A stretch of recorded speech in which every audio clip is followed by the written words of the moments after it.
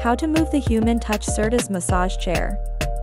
With the chair in the full upright position, stand behind the chair placing one foot on the back edge of the rear shroud and use both hands to grasp the front of the upper backrest, near the shoulder airbags.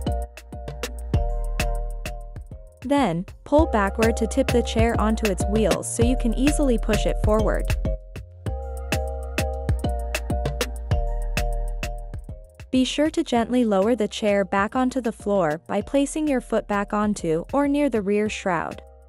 If you're unable to gain enough leverage to tip the chair back onto its wheels or need assistance, additional personnel should lift the front of the chair base, on one or both sides. It is important that the chair is not lifted from the side panels or foot and calf massager.